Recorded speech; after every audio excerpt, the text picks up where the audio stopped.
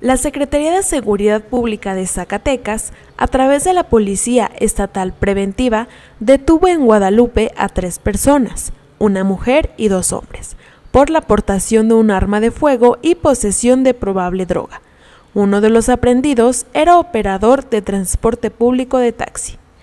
Al encontrarse efectivos de la Policía Estatal Preventiva realizando recorridos de seguridad y vigilancia en la vialidad San Simón de la colonia Rincón Colonial, en Guadalupe, detectaron una unidad de taxi marcada con el número 241, que se encontraba mal estacionada y en cuyo interior se observaban las tres personas, mismas que al notar la presencia policial mostraron una actitud evasiva. Al acercarse y cuestionárseles su situación, el operador señaló que se había quedado sin gasolina. Por lo anterior, se les realizó una inspección física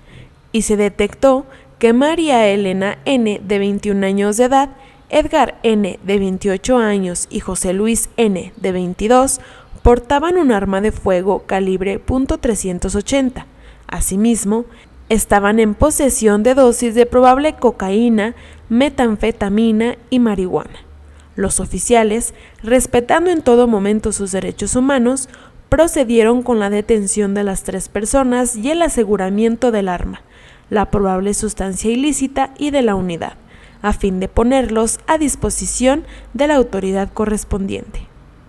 También en el municipio de Guadalupe, Elementos de la Policía Estatal Preventiva que realizaban recorridos de seguridad en la avenida Villas de Guadalupe de la colonia con el mismo nombre, observaron a un masculino que circulaba en una bicicleta que al notar la presencia policial intentó darse a la fuga. No obstante, cuadras adelante, los oficiales lograron darle alcance